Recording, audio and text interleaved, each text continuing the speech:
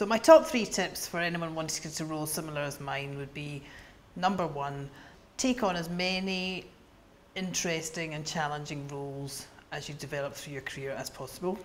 Number two, your soft skills, such as customer facing skills, public speaking, uh, team working, collaboration, all absolutely vital in today's workplace.